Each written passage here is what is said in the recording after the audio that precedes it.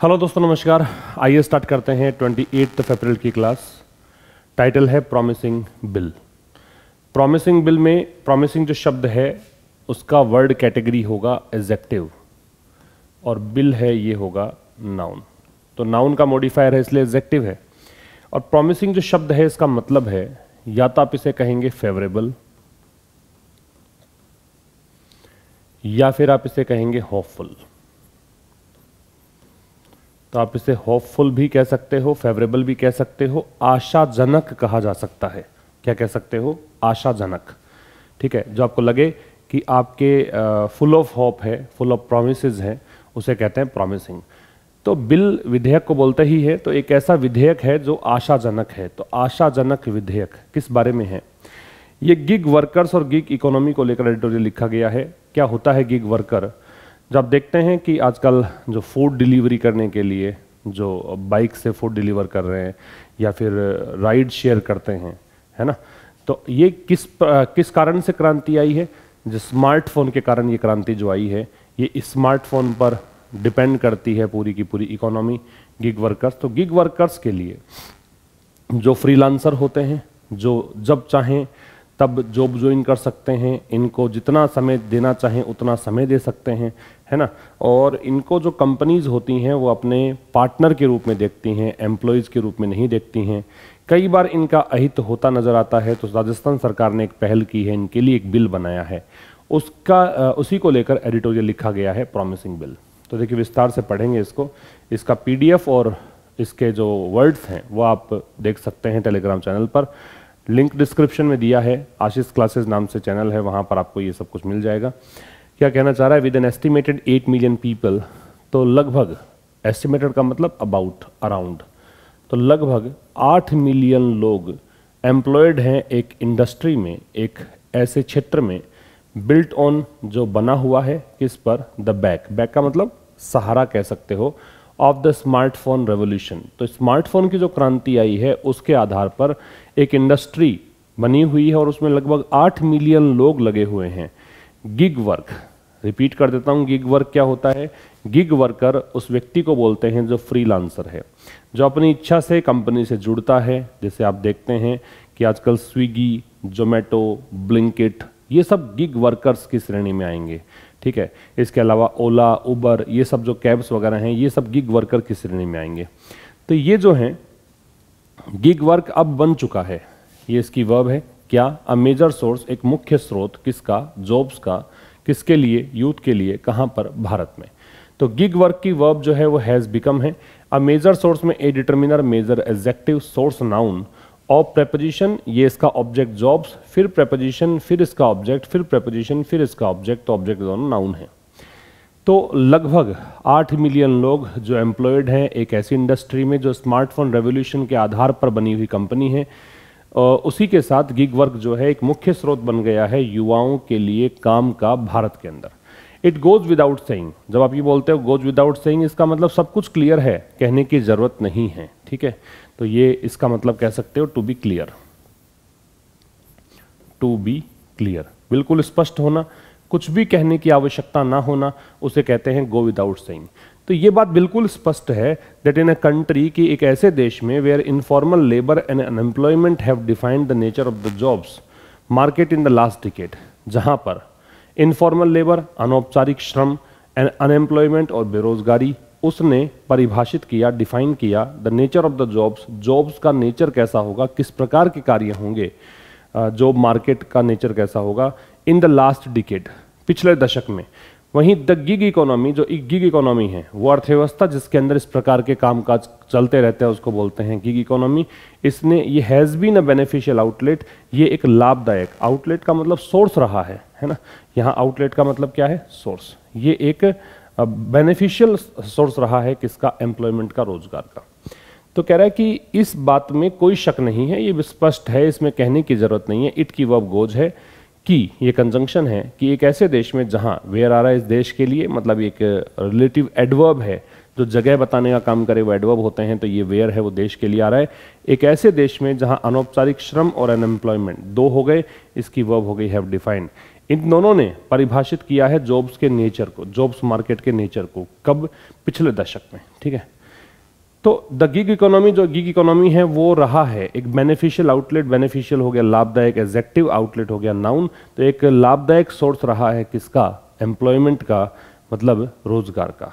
इसका स्क्रीनशॉट आप ले सकते हैं। वैसे इसकी लैंग्वेज आसान है, बस ये गिग वर्कर आपको समझ में आ गया होगा। इसको ही बार बार में रिपीट किया गया है, ज़्यादा वर्ड्स आज की क्लास में इतने वर्ड्स नहीं मिलेंगे, जितना आपने पिछले एक दो दिनों में देखे हैं। This is especially true of youth and migrant workers तो ये बात विशेष करके सच है। दिस की वर्ब इज़ है स्पेशली का मतलब होता है पर्टिकुलरली ठीक है? तो ये बात सच है किस विषय में? युवाओं और जो पलायनवादी वर्कर्स हैं माइग्रेंट वर्कर्स हैं, जो कहीं पर जाकर काम करते हैं, इनके विषय में एज क्योंकि यहाँ पे बिकॉज़ का मीनिंग देगा एज कंजंक्शन है। बताया हुआ है आपको कि एज प्रपोजिशन भी होता है एज कंजंक्शन भी होता है एज एडवर्ब भी होता है। तो यहाँ पे कंजंक्शन है, क्योंकि नया क्लोज स्टार्ट हो रहा है। क्योंकि वे वे कौन? ये माइग्रेंट वर्कर्स और यूथ जो हैं, वो सीख सीख का चाहना, तलाशना, कोशिश करना, ये सब मतलब होते हैं। रेडी एंड क्विक मीन्स इनको एक बिल्कुल रेडी तैयार हालत में, और क्विक बहुत जल्दी मीन्स साधन चाहिए किसका? सिक्योरिंग फाइनेंसेज अपने वित्त को सुरक्षित करने का। मतलब उनके पास पैसा आना चाहिए। एंड फ्लेक्सिबल आवर्स और उनको इतना ही समय देना है जितना वो दे सकते हैं। फ्लेक्सिबल का मतलब ऐसा नहीं है कि नौ से पाँच की ड्यूटी है, दस से आपको छः तक जाना है। ऐसा मतलब एक ऑफ़िस आवर्स नहीं है जब चाहें जब वो काम कर सकते हैं। एन ऑप्शन ये एक ऐसा विकल्प है यूज़ बाय इनफॉर्मल वर्कर जो अनौपचारिक कार्य, जो कर्मचारी होते हैं उनके द्वारा यूज़ किया जाता है। हु हु आ रहा है वर्कर्स के लिए, ये वो वर्कर्स हैं जिन्होंने इस्तेमाल किया है गिग्स को मून लाइटिंग के लिए।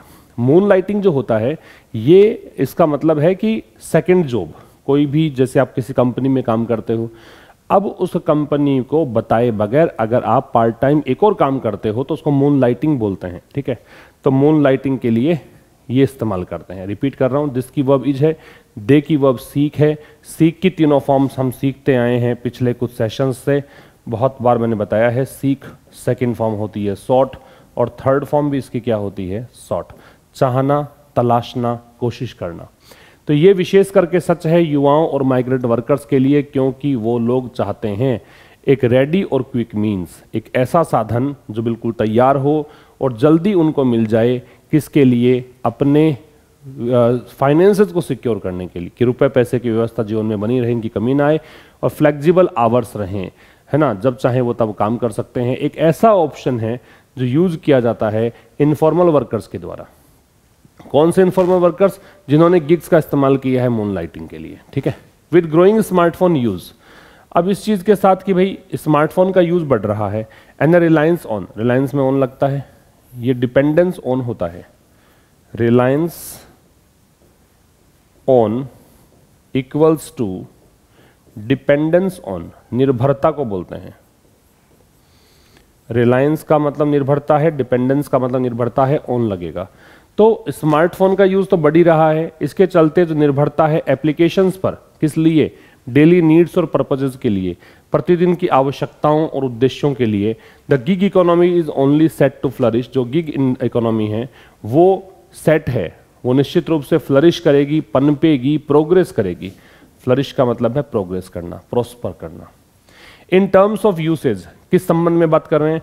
यूसेज की बात करें मतलब उपयोग की बात करें अपॉर्चुनिटीज़ अवसरों की बात करें, इस संबंध में। क्या कह रहा है? फिर समझना। बहुत आसान है। स्मार्टफ़ोन का इस्तेमाल बढ़ रहा है। इसके, इसको चलते और एप्लीकेशन निर्भरता बढ़ रही है, क्योंकि प्रतिदिन की जो भी आवश्यकताएँ हैं, जो भी हमारे उद्देश्य हैं, वो आजकल स्मार्टफ़ोन एप्लीकेशन से हम पूरे कर लेते हैं। हमें कुछ भी मंगवाना है, एप्लीकेशन का यूज़ हम करते हैं, है ना? कोई भी सर्विस चाहिए है, एप्लीकेशन का यूज़ करते हैं। तो इन चीज़ों के चलते जो गिग इकोनॉमी है, वो निश्चित रूप से आगे बढ़ेगी।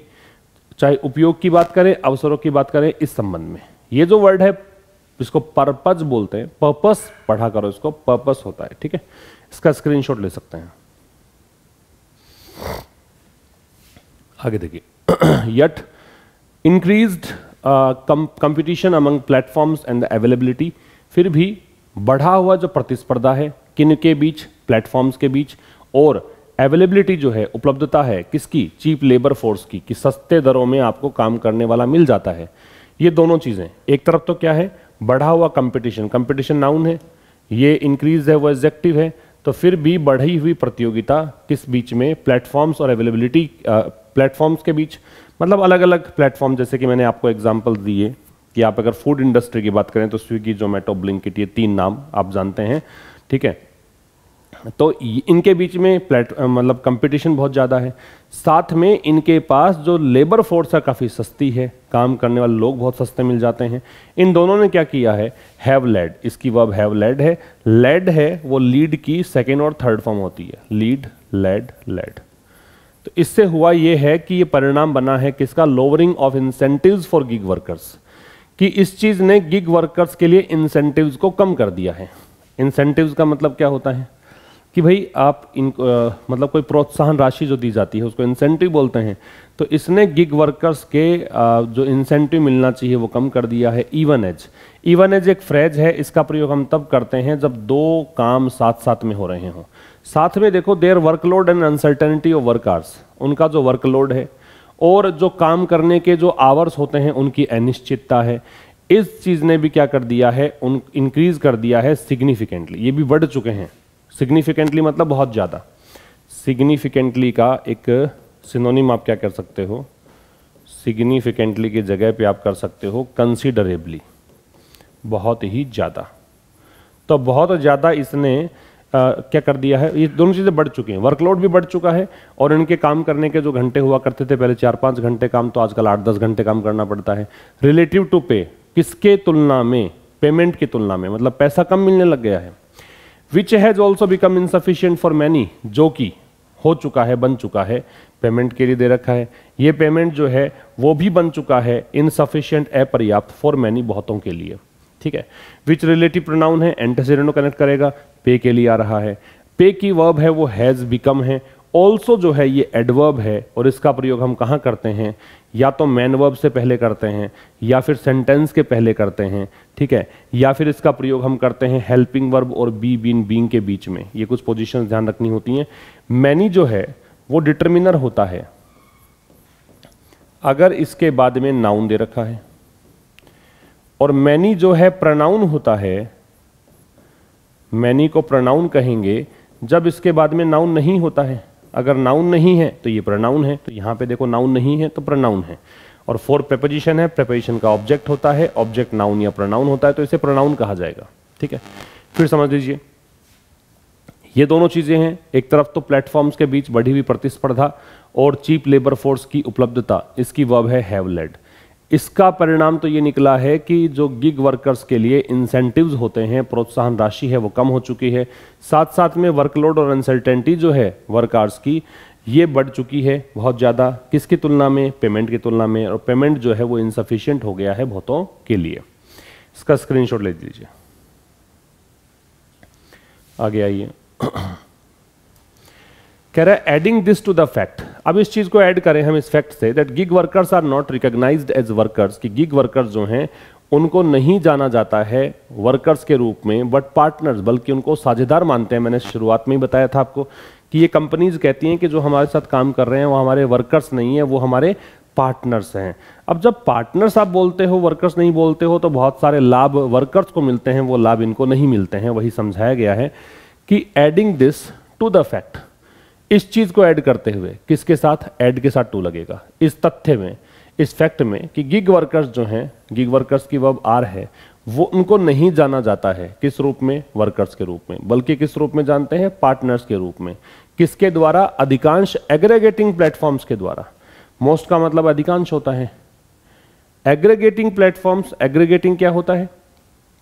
एग्रीगेटिंग का मतलब होता है कोई भी मतलब कंबाइंड जो है है ना कंबाइंड प्लेटफॉर्म्स मतलब वो प्लेटफॉर्म जिसने बहुत सारी यूनिट्स को मिलाकर काम शुरू किया है, उसको बोलते हैं aggregating platforms and they lack और उनमें कमी है, देखिए वो लैक है एनी सोशल सिक्योरिटी किसी भी सामाजिक सुरक्षा या रिलेटेड बेनिफिट्स या संबंधित कोई भी लाभ due to them as workers जो उनको मिलना चाहिए, किसी चीज़ के लिए ड्यू है, इसका मतलब वो मिलना चाहिए, उनको एज वर्कर्स श्रमिक के रूप में, कर्मचारी के रूप में। तो कह रहे इसी फैक्ट में एक चीज़ और जोड़ दीजिए कि गिग वर्कर्स जो हैं, उनको ये कंपनीज़ क्या कहती हैं, ये जो एग्रीगेटिंग प्लेटफॉर्म्स है, जो बहुत से यूनिट्स को शामिल करके बनते हैं, ये प्लेटफॉर्म्स ऐसे कहते हैं कि ये पार्टनर्स हैं, हमारे वर्कर्स नहीं हैं। अब पार्टनर्स अगर हैं तो इसका मतलब उनके पास सामाजिक सुरक्षा और जो संबंधित बेनिफिट्स मिलने चाहिए उनको वर्कर्स के रूप में वो इनको नहीं मिलते हैं। तो इस चीज़ के चलते वर्किंग कंडीशंस जो हैं, जो काम करने की स्थितियाँ हैं, वो बन चुकी हैं। इंक्रीजिंगली हार्श बहुत ज़्यादा स्ट्रिक्ट या बहुत ज़्यादा हार्श बन चुकी हैं। In an industry harsh unpleasant मान लो मतलब सुखद नहीं रही स्थितियाँ। एक ऐसे इंडस्ट्री में that is no longer a fledgling one fledgling का मतलब है न्यू या फिर कहेंगे डेवलपिंग जो नया नया हो। ठीक है? तो ये वो इंडस्ट्री है जो अब नई नहीं है। ठीक है? वर्किंग कंडीशंस की वर्ब हैव बिकम है इंक्रीजिंगली एडवर्ब है हार्श एडजेक्टिव है इन प्रेपोजिशन है एंड डिटर्मिनर है इंडस्ट्री नाउन है। अब इंडस्ट्री के लिए दे रखा है दैट रिलेटिव प्रोनाउन है, इसकी वर्ब है इज़ फिर नो होता है वो आपका डिटर्मिनर होता है लॉन्गर है वो एजेक्टिव है, अब फ्लेजलिंग वन फ्लेजलिंग जो है वो फिर से एजेक्टिव है वन है यहाँ पे नाउन का काम कर रहा है, ठीक है? वैसे ये इंडस्ट्री के लिए आ रहा है तो इसे प्रोनाउन कह सकते हो। तो ये वो इंडस्ट्री है जो अब नई नहीं नहीं रही नई नहीं रही है। This is now evident evident का मतलब होता है क्लियर या एपेरेंट स्पष्ट। अब ये बात स्पष्ट हो चुकी है in growing flash strikes flash strikes का मतलब है सडन स्ट्राइक्स अचानक से स्ट्राइक बिना बताए स्ट्राइक सडन स्ट्राइक को बोलते हैं फ्लैश स्ट्राइक। मतलब ये बिना बताए स्ट्राइक, जब चाहे तब स्ट्राइक कर लेते हैं गिग वर्कर्स। बताया था गिग वर्कर्स क्या है? तो अब ये बात स्पष्ट हो रही है, बढ़ती हुई गिग वर्कर्स की स्ट्राइक्स में दिखता है। अचानक से जो स्ट्राइक करते हैं, उसमें सब बातें साफ़ दिखती हैं। स्क्रीनशॉट ले सकते हैं। फिर कह रहा सीन इन दिस लाइट यदि इस परिप्रेक्ष्य में, इस संदर्भ में देखें। है ना? सीन इन दिस लाइट तो अगर इस परिप्रेक्ष्य में देखें, इस संदर्भ में देखें the decision by the Rajasthan government अब ये पूरा एक बेस बनाया है लेखक ने। अब ये आ रहा है मुख्य मुद्दे पर कि एडिटोरियल लिखा क्यों था इसने। तो जो राजस्थान गवर्नमेंट का डिसीज़न है, क्या? राजस्थान गवर्नमेंट ने कहा है कि हम डिलीवर करेंगे। क्या? एक बिल बिल का नाम देखो Rajasthan platform based gig workers ठीक है? अब इसका ये बिल है 2023 का शुड बी वेलकम इसका स्वागत किया जाना चाहिए। शुड बी वेलकम्ड क्या होता है? Should be plus third form इसका स्वागत किया जाना चाहिए पैसी वॉइस है। इवन इफ़ चाहे। इवन इफ़ का मतलब होता है, चाहे ऐसा हो, चाहे वैसा फ़र्क नहीं पड़ता, है ना? इसको बोलते हैं चाहे। इट विल बी इंट्रोड्यूस्ड चाहे इसको इंट्रोड्यूस किया जाएगा, चाहे इसको मतलब मार्केट में लाया जाएगा, इस बिल को लागू किया जाएगा। बिफोर द असेंबली इलेक्शंस विधानसभा चुनावों से पहले लेटर दिस ईयर इस साल के बाद में मतलब इस साल में थोड़ा आगे चलकर लेटर जो होता है वो टाइम में बाद के लिए आता है। लेटर का ऑपोजिट होता है अर्लियर लेटर का ऑपोजिट क्या होता है? अर्लियर और दोनों ही क्या बताते हैं? टाइम बताते हैं। ठीक है ना? फिर समझ लो। सीन इन दिस लाइट यदि इस संदर्भ में अगर बात करेंगे आप तो जो डिसीज़न है राजस्थान गवर्नमेंट का, क्या डिसीज़न है कि Rajasthan platform based gig workers के लिए रजिस्ट्रेशन वेलफेयर बिल 2023 की इन्होंने घोषणा की है, इसका स्वागत किया जाना चाहिए, ठीक है? तो डिसीज़न का स्वागत, और डिसीज़न की वर्ब शुड बी वेलकम्ड है पैसिव बी के साथ थर्ड फॉर्म है। चाहे इसको इंट्रोड्यूस किया जाएगा असेंबली इलेक्शन से पहले, इस साल में थोड़ा सा आगे चलकर। While the draft bill envisages envisages का मतलब होता है फोरटेल या फिर इसे कहेंगे प्रेडिक्ट मतलब परिकल्पना करना इमेजिन करना, जिसमें पहले से ही कुछ चीज़ें ध्यान मतलब बताना कि ऐसा ऐसा होगा। तो वाइल जो है वो कंजंक्शन होता है, दो क्लोजेस को जोड़ता है, दोनों कॉन्ट्राडिक्टरी क्लोजेस हो सकते हैं, विरोधाभासी उपवाक्य हो सकते हैं। तो यद्यपि जो ड्राफ्ट बिल है ड्राफ्ट बिल मतलब अभी तो कच्चा ही है, मसौदा है, अभी तो पूरा तैयार नहीं हुआ है तो उसको ड्राफ्ट बोलते हैं। तो ये जो कच्चा बिल है अभी जैसे इसी विधेयक बना नहीं है तो ये जो कच्चा बिल है उसमें परिकल्पना की गई है वेलफेयर बोर्ड की। इसमें कहा गया है कि एक वेलफेयर बोर्ड बनेगा that will design welfare policies और ये वेलफेयर बोर्ड का काम क्या होगा? वेलफेयर बोर्ड के लिए डेट आ रहा है रिलेटिव प्रोनाउन इस बोर्ड की वर्ब है विल डिज़ाइन है। ये वेलफेयर बोर्ड वेलफेयर पॉलिसीज़ बनाएगा, ठीक है? कल्याणकारी स्कीम्स बनाएगा। एंड हियर ग्रीवेंसेज ग्रीवेंस का मतलब है कंप्लेंट शिकायतें। और क्या करेगा? इस बोर्ड का काम होगा कि शिकायतें सुनेगा, किसकी? गिग वर्कर्स की। On a piece rate basis piece rate basis का मतलब मात्रात्मक रूप से। जो जितना काम करता है, जो जितना उपयोगी है, उस हिसाब से, मात्रात्मक रूप से वो शिकायतें सुनेगा।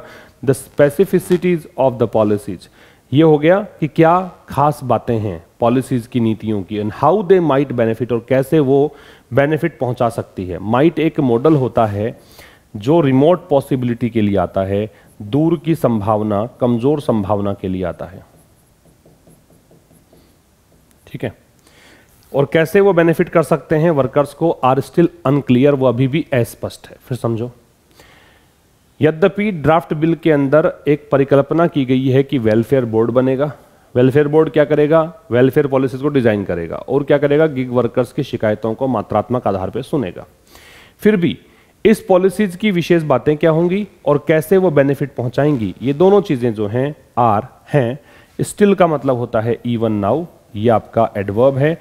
अभी भी ये बात अनक्लियर है अस्पष्ट है। बात समझ में आ गई? इसका स्क्रीनशॉट ले सकते हैं। आगे देखिए। The board is expected to work towards social welfare corpus corpus जो शब्द है, इसको कोपस पढ़ते हैं, इसका मतलब होता है कलेक्शन या ट्रेजरी कोष कह सकते हो। कलेक्शन या ट्रेजरी ठीक है? तो कह रहा है कि जो बोर्ड है वेलफेयर बोर्ड है इज़ एक्सपेक्टेड टू वर्क इससे ये आशा है, इससे एक्सपेक्ट किया गया है कि ये काम करेगा किसको लेकर? सोशल वेलफेयर कोपस को लेकर, एक सामाजिक कल्याण कोष को लेकर विच विल बी फाइनेंस्ड और इसको पैसा कहाँ से मिलेगा? बाई ए सेस सेस का मतलब होता है एक विशेष प्रकार का टैक्स वैसे टैक्स ही होता है, लेकिन किसी विशेष प्रयोजन को लेकर टैक्स लगाएँ। जैसे कि एजुकेशन सेस है तो शिक्षा को लेकर टैक्स लगाया है आपने। कोई भी खास चीज़ को लेकर टैक्स लगाएँ, उसको बोलते हैं सेस तो ये काम, ये पैसा कहाँ से आएगा? सेस से आएगा। सेस किस पर लगा रहे हो? डिजिटल ट्रांजेक्शन पर, जो ऑनलाइन ट्रांजेक्शन है उन पर। ये ट्रांजेक्शन करेगा कौन? कंज्यूमर्स करेंगे। ऑन द प्लेटफॉर्म्स, ठीक है? और वो प्लेटफॉर्म्स दैट यूटिलाइज यूटिलाइज का मतलब होता है यूज़ करना। वो प्लेटफॉर्म जो यूज़ करते हैं गिग वर्कर लेबर को। समझ में आ रही है बात? जैसे हमने कोई भी सर्विस ली, हम कहीं पर मान लीजिए राइड हमने बुक करवाई, हम कहीं पर गए, जो पैसा हम देंगे तो उस पर एक सेस लगेगा, वो सेस से फाइनेंस किया जाएगा। तो बोर्ड की वर्ब है इज़ एक्सपेक्टेड इस बोर्ड से आशा की जाती है कि ये काम करेगा सोशल वेलफेयर कोपस को लेकर, जिसको कि पैसा मिलेगा सेस से, और सेस किस पर लगाया जा रहा है? कंज्यूमर्स के द्वारा, जो प्लेटफॉर्म्स पर पैसों का लेन देन हो रहा है, उसके द्वारा। ठीक है? और ये कौन से प्लेटफॉर्म्स हैं? वो प्लेटफॉर्म्स है जो गिग वर्कर लेबर को यूज़ करते हैं। This scheme is not unfamiliar अब लेखक कह रहा है कि ये जो स्कीम है ना, ये कोई अनफेमिलियर नहीं है, नई स्कीम नहीं है कि ऐसा नहीं है कि हम इसके बारे में जानते ही नहीं है, पहली बार हुआ है। थोड़ा समझाया है डैश लगा के। Platform workers in the transport sector in Thailand and Malaysia कि ये जो प्लेटफॉर्म वर्कर्स हैं, कहाँ पर? ट्रांसपोर्ट सेक्टर में। जैसे कि राइड वाली बात ही कर लो। गाड़ी से बाइक से आना जाना करते हैं। तो थाईलैंड और मलेशिया में जो वर्कर्स हैं ना फॉर इंस्टेंस उदाहरण के लिए बेनिफिट इनकी वर्ब है बेनिफिट इनको लाभ मिलता है हेल्थ और एक्सीडेंट इंश्योरेंस का। इनको स्वास्थ्य बीमा और इंश्योरेंस मतलब एक्सीडेंट बीमा मिलता है, साथ में सामाजिक सुरक्षा मिलती है दैट इज़ फाइनेंस्ड बाई और इसको पैसा कहाँ से आता है? ये पैसा आता है deduction of two percent for every ride कि हर राइड के लिए दो परसेंट पैसा डिडक्ट होता है। उससे ये इनको ये हेल्थ बीमा और एक्सीडेंट बीमा मिलती है। दिस स्कीम की वर्ब इज़ है प्लेटफॉर्म वर्कर्स की वर्ब है, वो बेनिफिट है। ठीक है? इसका स्क्रीनशॉट ले सकते हैं। फिर कहा गया रिसेंटली हाल ही में the union government pass the code on social security हाल ही में केंद्र सरकार ने पास किया है, पारित किया है एक सामाजिक सुरक्षा संहिता को। ये चार जो श्रमिक संहिता है, उसमें से एक है विच ऑल्सो अलाउड जिसने अलाउ किया है फॉर सम सोशल सिक्योरिटी इसने भी कुछ सामाजिक सुरक्षा के बारे में कहा है गिग वर्कर्स के लिए but the scheme remains only remains on paper लेकिन ये जो स्कीम है, केवल कागजों में रहेगी, ठीक है? विदाउट प्रॉपर इंप्लीमेंटेशन अगर आप सही तरीके से इसको लागू नहीं करते हो प्रॉपर इंप्लीमेंट नहीं करते हो इंप्लीमेंटेशन होता है इंप्लीमेंट करने का प्रोसेस लागू करने की प्रक्रिया। तो ये कागजों में रहेगी। यूनियन गवर्नमेंट की वर्ब क्या है? पास्ट तो हाल हाल ही में जो केंद्र सरकार है, उसने एक सोशल सिक्योरिटी कोड को पास किया है, ठीक है? सामाजिक सुरक्षा संहिता को पास किया है। तो ये चार जो लेबर कोड्स हैं, उनमें से एक है। इसने कुछ सामाजिक सुरक्षा दी है गिग वर्कर्स को, लेकिन ये स्कीम जो है, वो केवल पेपर पर है। यदि आप प्रॉपर तरीके से इसको इंप्लीमेंट नहीं करते हो तो। If Rajasthan pioneering draft bill pioneering का मतलब है जो अग्रणी है, इससे पहले किसी ने नहीं किया और किसी राज्य ने शुरुआत नहीं किया तो पायोनियरिंग का ट्रेल ब्लेजिंग कह सकते हो। जो अग्रणी हो, एकदम नया हो, इससे पहले किसी ने नहीं किया हो ओरिजिनेटिंग हो, ठीक है, उसको बोलते हैं क्या? पायोनियरिंग तो राजस्थान का जो ये अग्रणी ड्राफ्ट बिल इसलिए बोल रहे हैं कि ये कच्चा बिल है। टेक्स ऑफ़ का मतलब है सडनली सफल होना। टेक ऑफ़ वैसे तो उड़ान भरना है तो इसको भी वैसे ही मानो कि अगर ये बिल उड़ान भरता है, इसका मतलब टू सक्सीड सडनली अचानक से सफल होना। तो अगर मान लो ये बिल सफल हो जाता है other states could be compelled तो अन्य राज्य जो हैं, वो भी क्या हो सकते हैं? मजबूर। कंपेल्ड का मतलब क्या होता है?